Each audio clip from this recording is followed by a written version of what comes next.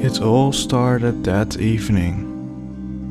My friends had a rough week, so I invited them to have a drink at my place. I wouldn't call it a party, but it was enormously stress relieving. After many conversations, we resultantly came to a rather odd topic. If the impossible was possible, what would you wish? Jason's squad mates from the police department were wiped out due to a terrorist attack in London by the IS. Since those terrorist attacks happened more frequently in the United States of Europe at the time, Jason wished for his colleagues from the police and himself to become bulletproof, in order so that they could save more victims from the attacks and wouldn't be scared to become victims themselves.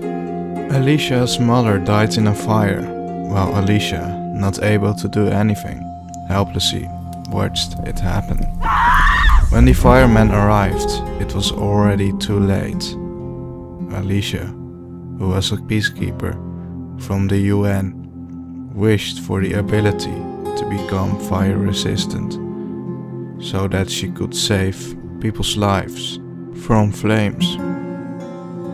The next morning, when I read the news, the United Islamic Nations and the Russian Federation had formed a military alliance.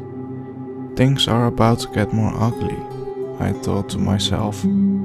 Apparently, I was right when I heard the news that Jason and his entire squad were decimated in yet another terrorist attack by the IS. He had a wife and two kids. A week later, Alicia was deployed for a rescue mission in Iran. Unfortunately, the mission didn't go well as planned.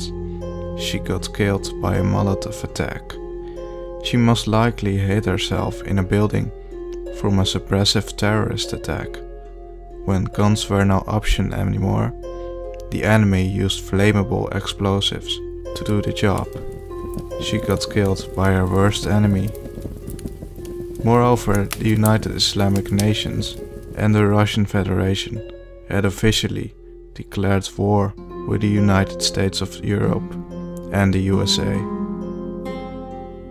World War III was begun. The people of my city evacuated, but I stayed behind. Since there was nothing for me left to live for, I decided to let the war end my life.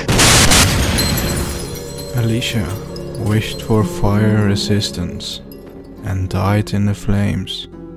Jason wished for bullet resistance and got killed with bullets.